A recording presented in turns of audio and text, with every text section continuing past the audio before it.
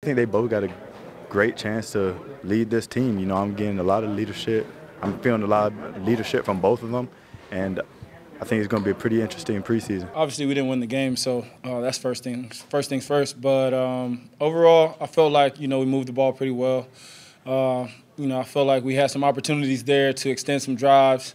Uh, we didn't start out great on third downs, but um, you know, we started to pick it up, and so you know, I feel like we got a lot to learn from. It's our first preseason game, so um, you know that's to be expected. But uh, I felt pretty good out there.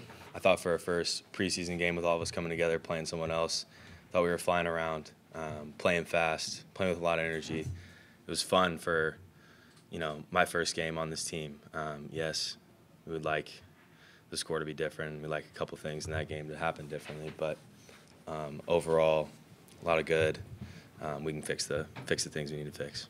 Both quarterbacks were efficient. Um, really, Geno could have been 10 for 10. You know, he had two drops, and and, and Noah's got to stay in bounds on the ball on the sidelines, and, and he hits them all. Um, and we were we, we, moved the ball around pretty good with uh, with Drew also. So um, can't wait to get after the film and all that.